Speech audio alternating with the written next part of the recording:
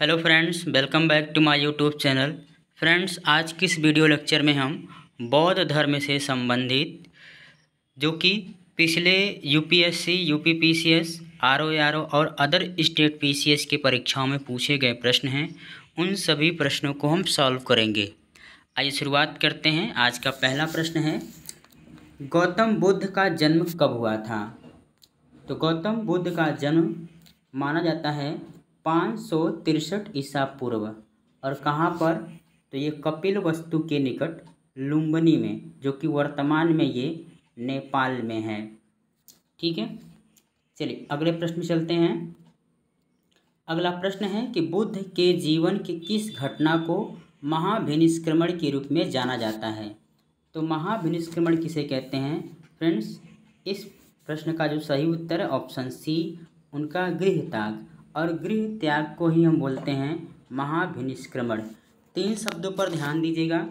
एक तो है महाभिनिष्क्रमण, जिसे हम गृह त्याग कहते हैं, और दूसरा जब उन्हें ज्ञान प्राप्ति होती है और ज्ञान प्राप्ति के बाद वो अपना पहला उपदेश सारनाथ, जो कि वाराणसी में है, और जिसे प्राचीन नाम ऋषि पत्तनम कहते थे, वहाँ पर पहला उन्होंने पाँच अपने शिष्यों को उपदेश दिया था। तब उसे कहा जाता है धर्म चक्र परिवर्तन धर्म चक्र परिवर्तन। और इसको हम कहते हैं जब उन्हें ज्ञान। इसके बाद जब उनका आ, उनका मृत्यु कोशीनारा जो कि मल्ल की राजधानी थी वहाँ पर इनकी मृत्यु हो जाती है तब उसे कहा जाता है महापरिनिर्वाण। क्या बोला जाता है? महापरि निर्वाण। ठीक है? यहाँ पर ये सब लिखा हुआ है। ठीक है? तो इस प्रश्न का जो सही उत्तर ऑप्शन सी गृह त्याग से है। नेक्स्ट क्वेश्चन है कि गौतम बुद्ध की माँ किस वंश से संबंधित थी? तो फ्रेंड्स, उनकी जो माँ थी, वो थी कोलीय वंश से, यानी कोली गणराज की थी, इसलिए वो कोलीय वंश की कन्या थी। ठीक है? उनकी माता का क्या नाम था? तो याद ही आपको याद रखना है। उसके बाद इनकी जो माता का नाम था, माता का नाम महामाया था, महामाया। और इनके जन्म के बाद इनकी माँ की मृत्यु हो जाती है। उसके बाद इनकी मौसी प्रजापति गौतमी प्रजापति गौतमी इनका लालन पालन करती हैं, ठीक है? और इनके पिता का नाम क्या है? शुद्धोधन। इनके पिता का नाम है शुद्धोधन। और ये सांप के गढ़ के प्रधान थे। चलिए, अगले प्रश्न चलते हैं। अगला प्रश्न है कि बुद्ध का जन्म हुआ था। तो बुद्ध का जन्म कहाँ हुआ था? तो कपिल वस्तु के निकट लुम्बनी में हुआ था। ठीक है? अगला प्रश्न है कि निम्न में से कौन सा नाम बुद्ध का दूसरा नाम है? तो फ्रेंड्स, दिए गए विकल्प में से इनमें कोई भी विकल्प सही नहीं है। इनमें से कोई नहीं। तो इनका अन्य नाम क्या था? तो बचपन में इन्हें सिद्धार्थ कहते थे। बचपन में इनका नाम था सिद्धार्थ और इनको शाक्य मुनि भी कहा जाता था। शाक्य मुनि या फिर इन्हें तथागत कहा गया। ठीक है? तो इनके कुछ अन्य नाम हैं, इन्हें भी याद रखना है। ठीक है? जब इनका बचपन का नाम सिद्धार्थ था और ज्ञान प्राप्ति के बाद इनका नाम बुद्ध पड़ता है। चलिए, आगे बढ़ते हैं, अगले प्रश्न की तरफ़। निम्नलिखित में से किस राजवंश के अभिलेख से इस परंपरा का समर्थन होता है कि लुम्बनी जो है शाक मुनि बुद्ध का जन्म स्थान था? तो किस राजवंश के अभिलेख से? तो वो है मौर्य मौर्य के राजवंश अभिलेख से। और मौर्य के किस अभिलेख से? तो मौर्य काल में अशोक के समय, अशोक के अशोक के अभिलेख से। और अब उस अभिलेख का नाम क्या है? उसे भी याद रखिएगा, उस अभिलेख का नाम है रुमिन रुमिन देई अभिलेख से। ठीक है? यहाँ से शाक्य मुनि बौद्ध का जन्म की हमें जानकारी मिलती है। आगे बढ़ते हैं, अगले प्रश्न की तरफ़। निम्नलिखित में से कौन सा एक अशोक का अभिलेख इस परंपरा की पुष्टि करता है? कि गौतम बुद्ध का जन्म लुम्बनी में हुआ था। तो किस स्तंभ लेख से? तो रुमेन देई स्तंभ लेख से डी ऑप्शन सही है। अगला प्रश्न है, निम्नलिखित में से किस राजा के एक अभिलेख से सूचना मिलती है कि शाक्य मुनि बुद्ध का जन्म लुम्बनी में हुआ था? तो किस राजा के अभिलेख से? तो मौर्यकालीन जो है, अशोक के समय से। अगला प्रश्न है कि महात्मा बुद्ध का महापरिनिर्वाण कहाँ हुआ था? महापरिनिर्वाण किसे कहा जाता है? जब महात्मा बुद्ध का मृत्यु हो जाती है, ठीक है, जो अपना प्राण त्याग देते हैं तो उसी को कहा जाता है महापरिनिर्वाण। तो ये हुआ था कुशीनारा में। तो इस घटना में क्या हुआ था? मैं आपको बता दूँ, यानी जो महात्मा बुद्ध थे, वो मल्लों की राजधानी पावा पहुँचे।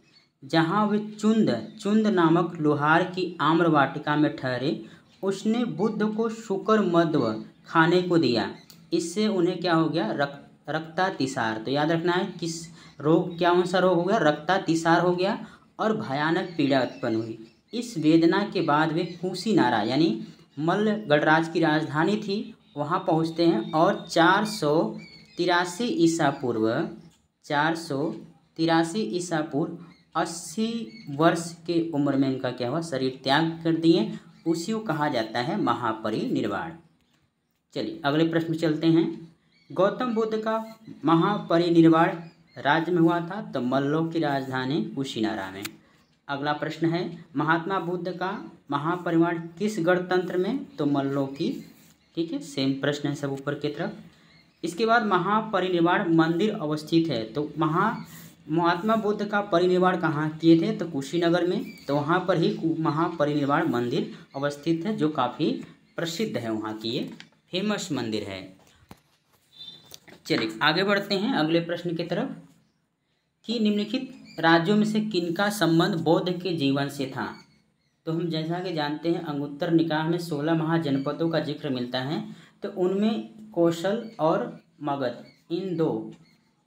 जहाँ भी गौतम बुद्ध के जीवन से संबंध है। तो तीन और चार यानी सी विकल्प बिल्कुल सही उत्तर है। यानी गौतम बुद्ध अपनी शिक्षा के प्रचार प्रसार हेतु तो कहाँ कहाँ गए थे? तो कौशल और मगध में। अगला प्रश्न है। Next question. गौतम बुद्ध द्वारा अपने धर्म में दीक्षित किए जाने वाला अंतिम व्यक्ति कौन था? यानी सब, जब गौतम बुद्ध अपना प्राण त्याग किए कुशीनारा में, उससे पहले किस अंतिम व्यक्ति को अपने दीक्षित यानी दीक्षा दिया धर्म की? तो वो था सुबद्ध इस प्रश्न का सही उत्तर है। अगला प्रश्न है, बुद्ध द्वारा रूपांतरित निम्न व्यक्तियों में से कौन सा अंतिम था? तो वह है डी सुबद्ध अगला प्रश्न है कि बुद्ध ने अपने जीवन का अंतिम वर्षा ऋतु कहाँ पर बिताई थी?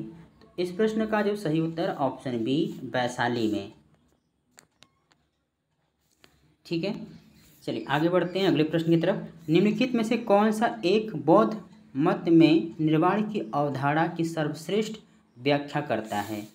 इस प्रश्न का जो सही उत्तर, ऑप्शन ए रूपी अग्नि का समन जो कि एक बौद्ध मत निर्माण की अवधारणा है। अगला प्रश्न है कि अलार कलाम कौन थे? तो ये अलार कलाम जो हैं, ये बुद्ध के एक गुरु थे। यानी जब गौतम बुद्ध अपना महाभिनिष्क्रमण, यानी जब गृह त्याग किया तो उन्होंने सबसे पहले अलार कलाम के आश्रम में पहुँचे थे और उनसे वहाँ दीक्षा ली थी। ठीक है? अगला प्रश्न है। महात्मा बुद्ध ने अपना पहला धर्म चक्र परिवर्तन किस स्थान पर किया था? इस प्रश्न का जो सही उत्तर, ऑप्शन बी, सारनाथ में, जिसका प्राचीन नाम है ऋषि पत्तनम जो कि वर्तमान में ये सारनाथ वाराणसी के निकट है, जहाँ पर उन्होंने पाँच ब्राह्मण सन्यासियों को पहला उपदेश दिया था। और इसी प्रथम उपदेश को ही क्या कहा जाता है? धर्म चक्र परिवर्तन। अगला प्रश्न है, बुद्ध ने अपना पहला उपदेश कहाँ दिया था? तो पहला उपदेश कहाँ दिया था? बी यानी सारनाथ में।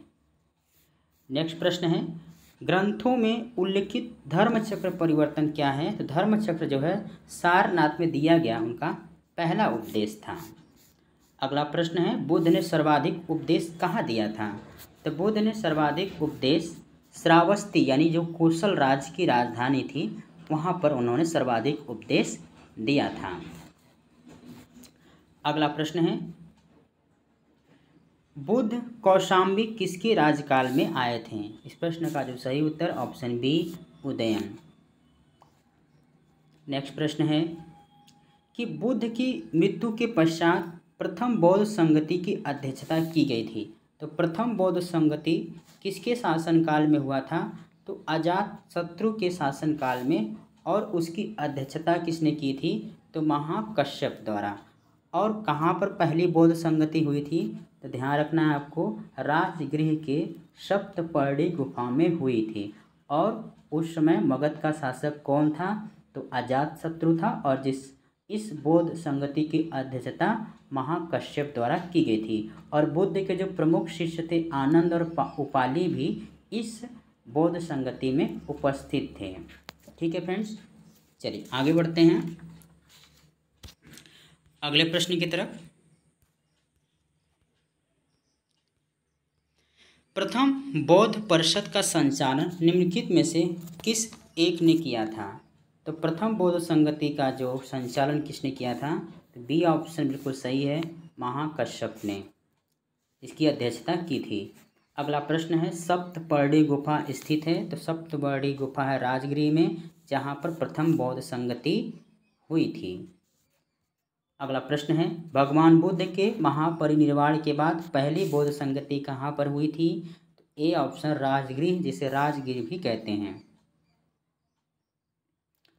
नेक्स्ट प्रश्न है कि कश्मीर में कनिष्क के शासनकाल में जो बौद्ध संगति आयोजित हुई थी, उसकी अध्यक्षता निम्नलिखित में से किसने की थी? इस प्रश्न का जो सही उत्तर ऑप्शन डी, वसुमित्र ने। यानी जो चौथ, यानी कुल मिलाकर गौतम बुद्ध की चार बौद्ध संगति हुई थी। तो जो चतुर्थ बौद्ध संगति थी, वो उसकी अध्यक्षता वसुमित्र ने की थी और ये कुषाण शासक कुषाण शासक कनिष्क के शासनकाल में हुई थी। ध्यान रखना है, कनिष्क के शासनकाल में और कहाँ पर हुई थी तो ये भी याद रखना है। तो ये है आपका कश्मीर के कुंडल वन में हुआ था। और इसकी अध्यक्षता किसने की थी? तो इसकी अध्यक्षता की थी वसुमित्र ने। अब वसुमित्र इसके अध्यक्ष थे और अश्वघेश अश्व अश्व घोष जो थे, ये इसके उपाध्यक्ष थे। ठीक है? और चतुर्थ बौद्ध संगति के समय ही क्या हुआ था? बौद्ध धर्म दो संप्रदायों में विभक्त हो गया, जिसे हम हीनयान या फिर महायान कहते हैं। चलिए आगे बढ़ते हैं अगले प्रश्न की तरफ़। बौद्ध धर्म की महायान शाखा औपचारिक रूप से किसके शासनकाल में प्रकट हुई थी?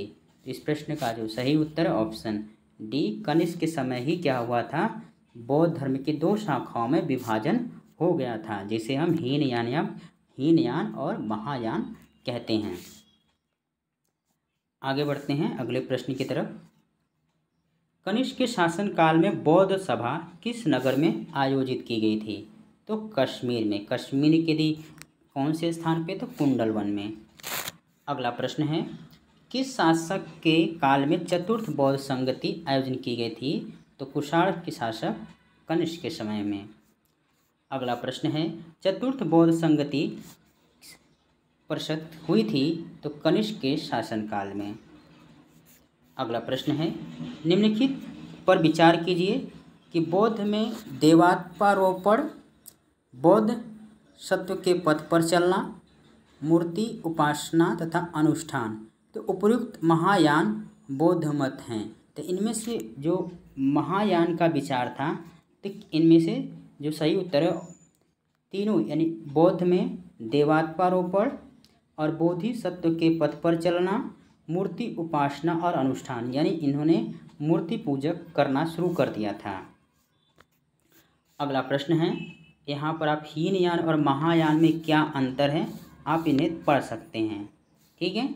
मैं आपको कुछ देर तक वीडियो पॉज कर देता हूँ, आप इसे पढ़ लीजिएगा।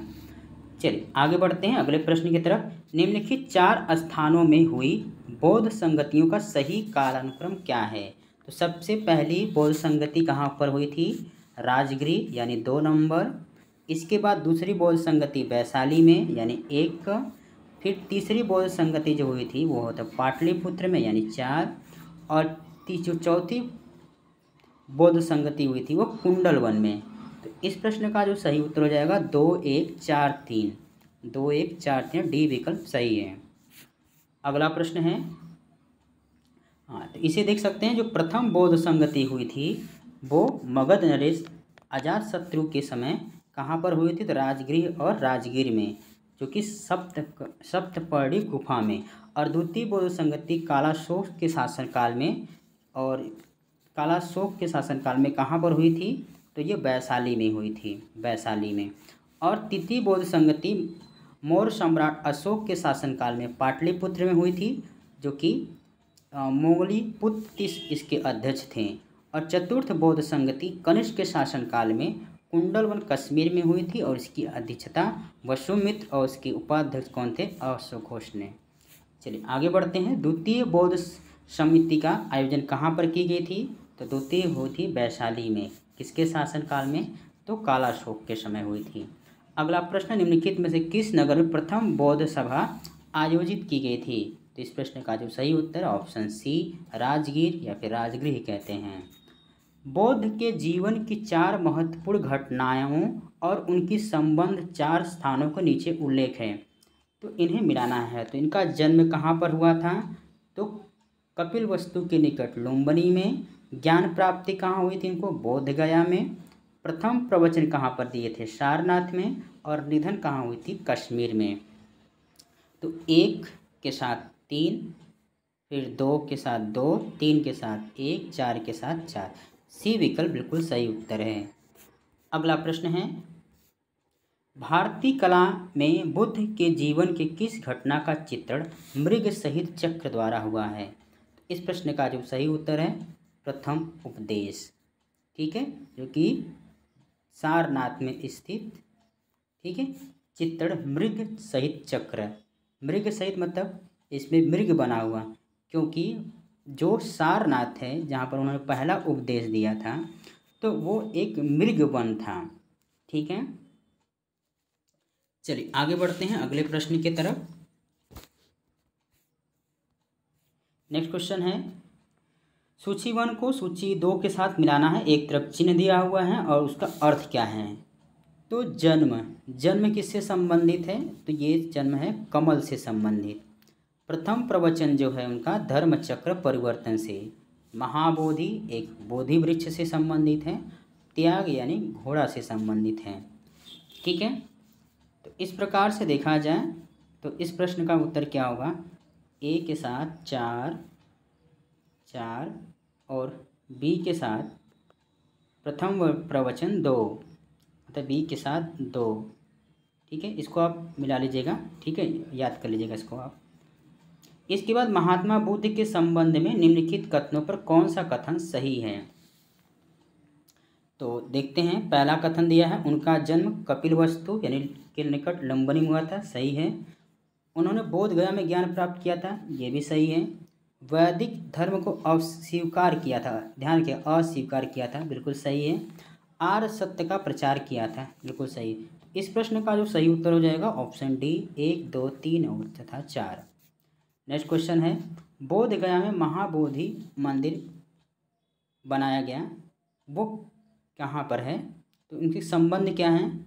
तो इस प्रश्न का जो सही उत्तर ऑप्शन बी गौतम बुद्ध को ज्ञान प्राप्त हुआ है, वहीं पर महाबोधि मंदिर बनाया गया है। अगला प्रश्न है बोध गया में बोधि वृक्ष अपने वंश की इस पीढ़ी का है? तो ये है आपका पाँचवीं पीढ़ी का। अब इसका क्या मतलब है? तो फ्रेंड्स इसके पीछे कहानी है। कि जो एक्चुअल में जहाँ पर महात्मा बुद्ध को ज्ञान प्राप्ति हुई थी, वो वर्तमान में वो वृक्ष, पुरानी वाली वृक्ष नहीं है।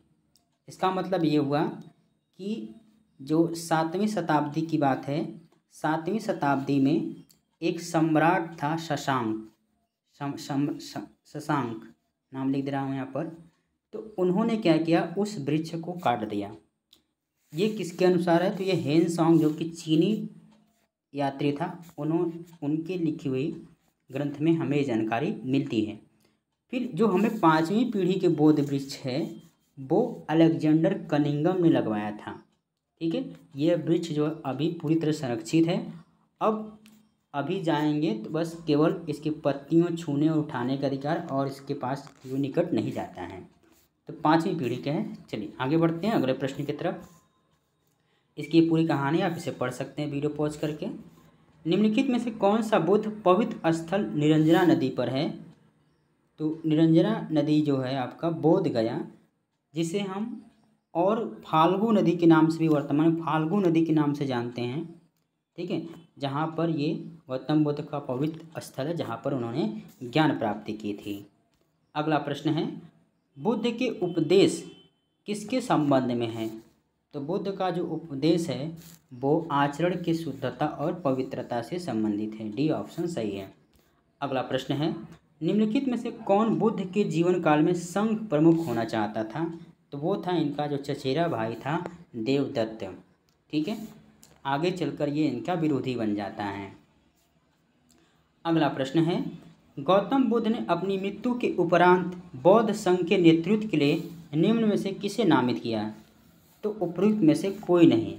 मतलब गौतम बुद्ध ने मृत्यु के बाद किसी को बौद्ध का नेतृत्व नहीं दिया।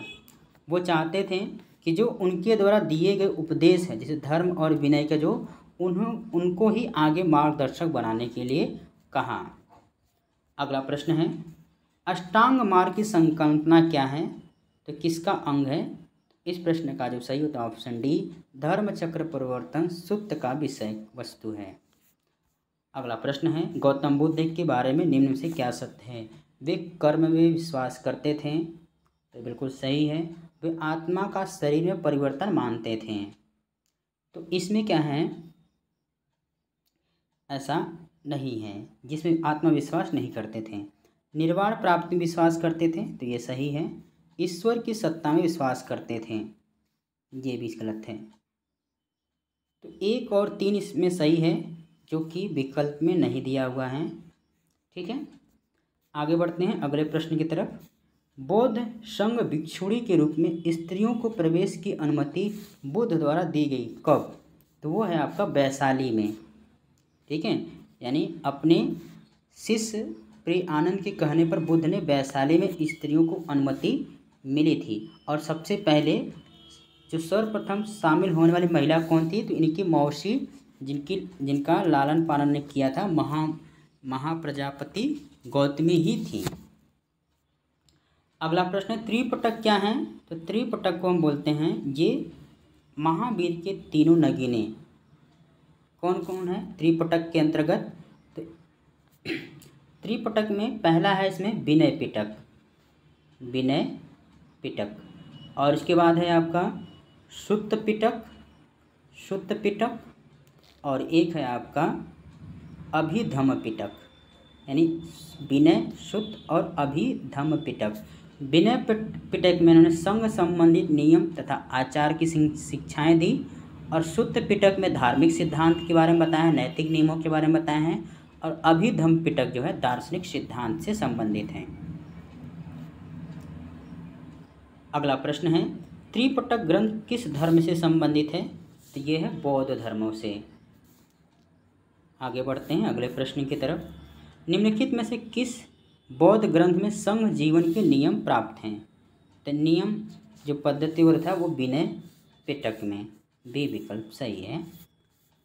तो फ्रेंड्स, ये रहा आपका बौद्ध धर्म से संबंधित सिक्सटी थ्री क्वेश्चन ये वीडियो का पार्ट वन है। हम नेक्स्ट पार्ट में इस अभी आपके करीब इतना ही क्वेश्चन और भी मिलेंगे, जो कि पिछले कुछ एग्ज़ामों में पूछे गए हैं। ठीक है फ्रेंड्स?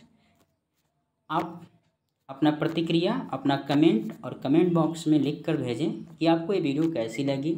यदि वीडियो आपको अच्छी लग रही है तो इसे लाइक शेयर करना ना भूलें और अभी तक इस चैनल को सब्सक्राइब नहीं किया है तो सब्सक्राइब कर लीजिए, जिससे कि आपको आने वाले वीडियो का नोटिफिकेशन आपको मिल सके। ठीक है फ्रेंड्स फिर हम जल्दी ही मिलेंगे। तब तक के लिए जय हिंद, जय भारत।